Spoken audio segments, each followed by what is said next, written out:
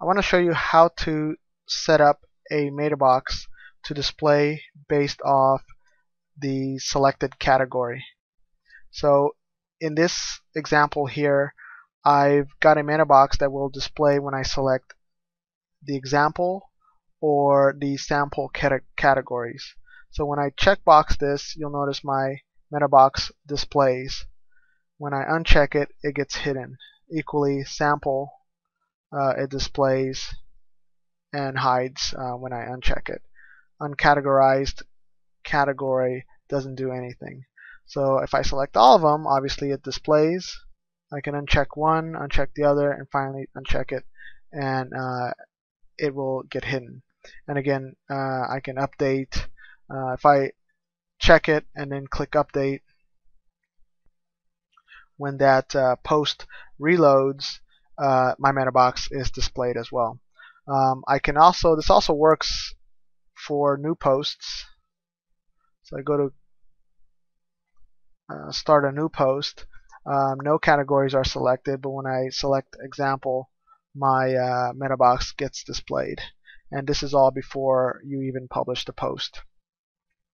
So real quick, I'll show you how to get this done.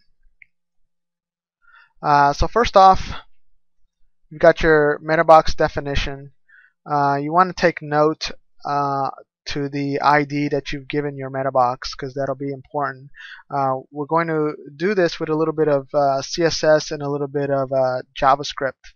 So all my examples online currently use a um, main CSS file used to style the uh, the meta boxes. So I'm just going to add a style there, but essentially you can add a style to uh, any CSS that gets uh, included with the with the admin. So this is the CSS file here, and all I'm doing is adding a uh, display none so that I can um, effectively hide the meta box.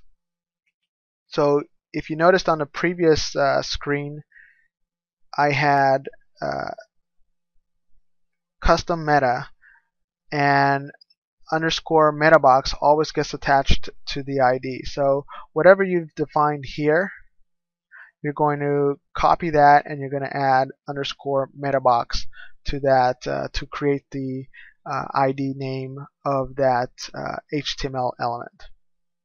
So I'm just going to uh, add display none and that's going to hide my meta box. And now I'm going to add some JavaScript to be able to show and hide uh, my uh, meta box based off the category selection.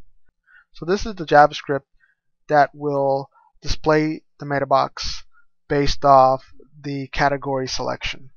Uh, I'll post this on the uh, website so you can just copy and paste it. Um, it's pretty pretty basic.